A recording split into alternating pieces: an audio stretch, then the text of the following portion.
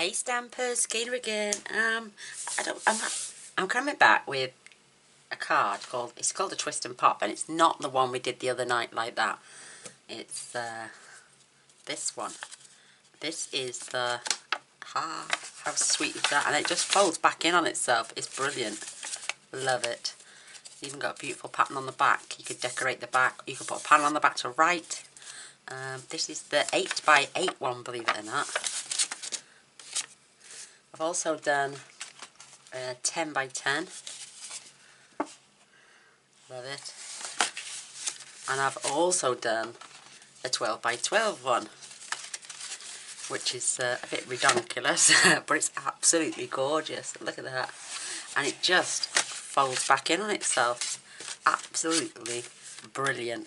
So I will put the measurements on the blog and where you have to score for the 12 by 12 also for the 10 by 10 but I'm going to show you how to make the 8 by 8 one now. This is using Stampin' Up! products. These were just using my normal papers just for practice. So I'll show you how I made it. So simple. You're going to need a piece of designer series paper. You can do this with cardstock as well. I do find it's a little bit harder to see the oh what they're called? The crease lines but uh, whatever you want to show on the outside and on the inside face down. And you're going to grab your scoreboard. Let me make sure you're in. Let me see if I can zoom in as well. Right. Oh, maybe a little bit out of it. Right, you're going to need a ruler. The two inch mark you're going to, at 4 inches, you're going to score down to 2 inches. And then at 6 inches, you're going to score down to 4 inches. Just make sure that, and once I know it's, I'm on, I know I'm on a straight line when this is pushed right up against here. So at 4, you score down to 2. And at 6, you score down to 4. And when you repeat now, I can see where the 4 is there. And I'm going to score down to 2, which is that line that's just run there. Oops, there. And then the 6, you're going to score down to 4. And you're going to do that on all four sides. So I just line up at 4 on the first one you're going to line it up at 2, score down to 2. And on the others you're just going to get your score down to 4 because your 2 is there. You can see where you've scored to. And the 6 down to 4. Now on this last one, your lines are already there, but I'm going to put this back in at 4. Just making sure I'm not any higher than what I need to be. Score from 4 down to 2 and 6 down to four. And you can see those. Can you see them? What I'll do now I'm just going to move the, the plate because you don't need the plate anymore. I'll zoom back out. And I'm just going to fold on the that score line all the way up to the two. And then what I'm going to do then I'm uh, I'm folding the other way. So the two inch mat lines are valleys and the long ones are mountains. So I'm just going to crease them in. So just up to that line and then that one I'm going to crease down. And we're going to do some more score lines in a minute. So as long as I get those little score lines creased and then fold the big ones. It looks harder than it is but it's so simple and so quick. So this is going to be one of those 10 minute treats. Perfect. Now you've got these score lines. You've got marks there and there. You're going to connect these lines up now.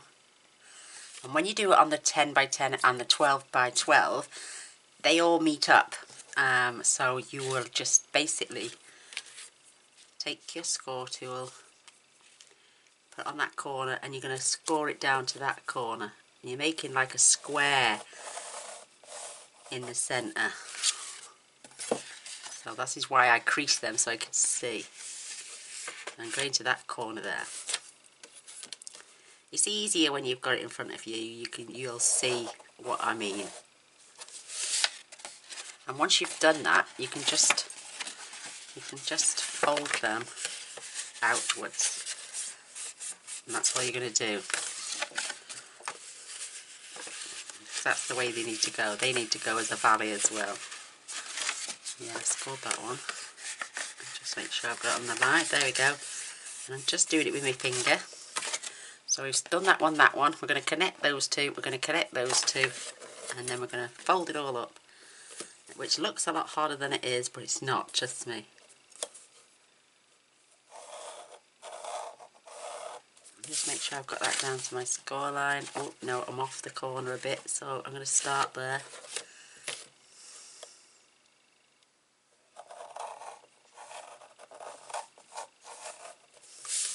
and now I can fold that over and use my finger. One more to go because we're going to make a square here. I can see it now, there to there.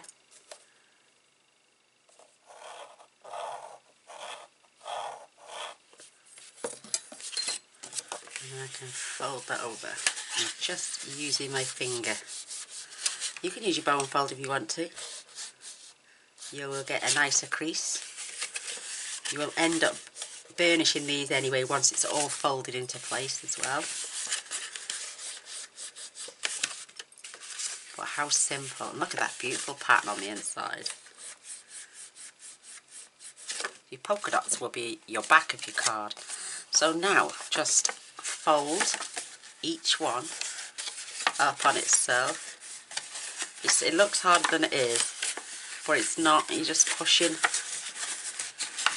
twist and twist and it just all falls into place just like that. And now you can give it a good burnish.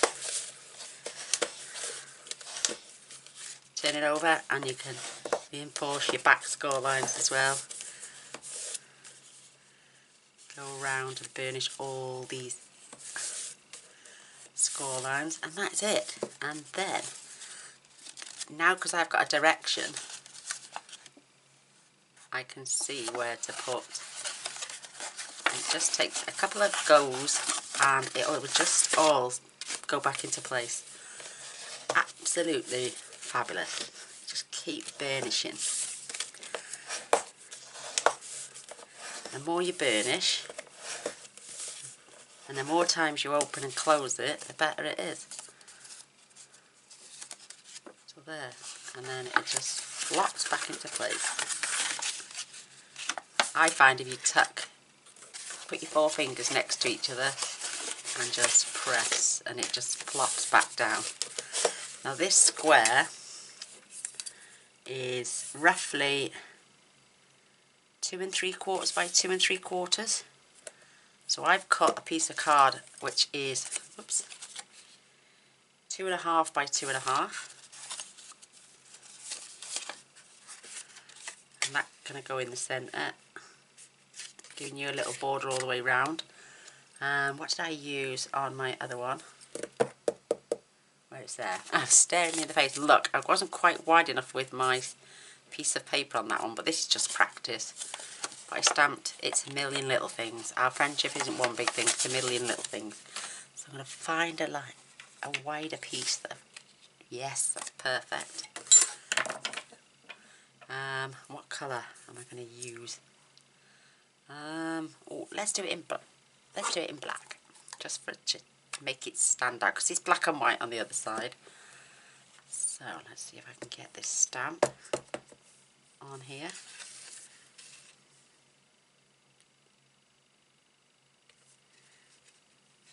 Beautiful, perfect. Then I can just trim that down a size.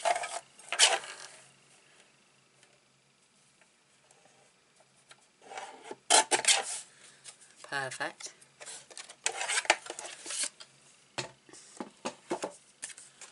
I can stamp our other sentiment.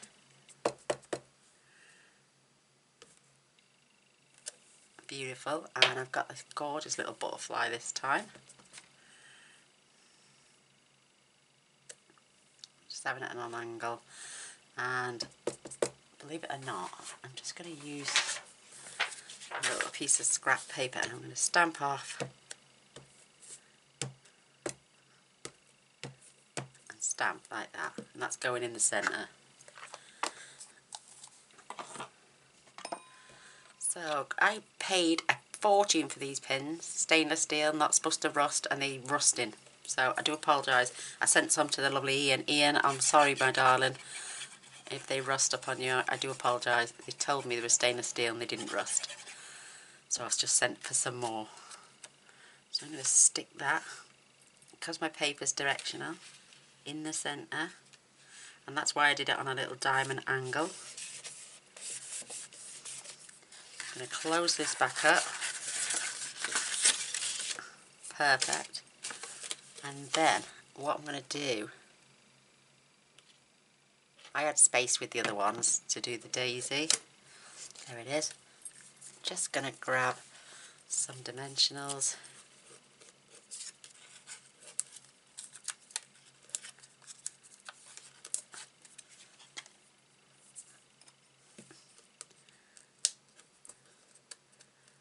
and pop. Take the backings off. I'm going to pop that up in there in the corner. And like I was saying you could add another piece of Whisper White on the back. Or you could even just write on the back with that one. It's uh, it's quite plain. Grab some rhinestones. Just going to pop one right there. And I've got my little tub here with my beautiful butterflies in. Use a one large. Oh,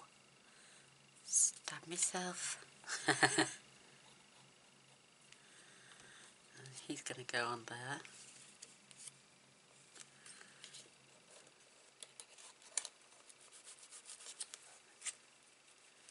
pop a rhinestone right on there with him. Beautiful. And then I'm going to grab another one of the little ones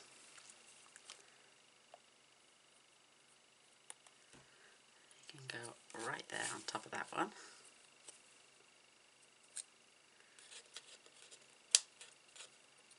and you could make your own little designer um, envelopes to go with these out the same paper and what else should we have?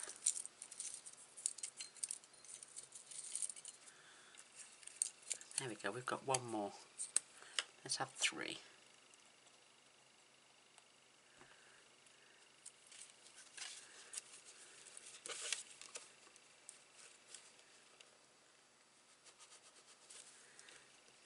And a rhinestone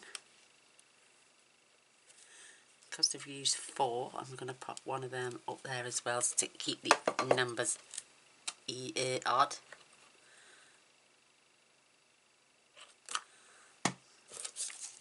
so there we go there is our 10 minute little treat of a flip and twist and flip card or twist and pop whatever you want to call it I just thought I had to show you it's just the cutest little thing ever. And um, somebody left a comment when we were in chat the other night um, they said oh Sam Clayton's got a beautiful fun fold diamond something card. I've already done one babe but two in fact two years January the 27th 2017 so I could revive it take off the flap I suppose like Sam did but uh, she's done a, a marvellous job with hers so go on over and have a look at Sam's. But I have done one January I think either 17th or the 27th 2017 uh, it's called the Diamond Fold Card. That's what it's called. So there's the 8x8 with this one as well. I use thinner paper with that one. These are substantial, these are brilliant, these are really strong uh, papers. That's the eight, uh, 10 by 10 and this is the beautiful, gorgeous 12 by 12. Isn't that absolutely beautiful? There we go. There is my 10 minute treat for you today. I hope you like it. Please give it a go. It's brilliant. Uh, I'd love a thumbs up and a share and I added like the daisies to these but the daisy's too big to go on the corner there so that's why I didn't add the daisies on the other two. Thought I'd give it a bit of glam with some uh, some butterflies instead.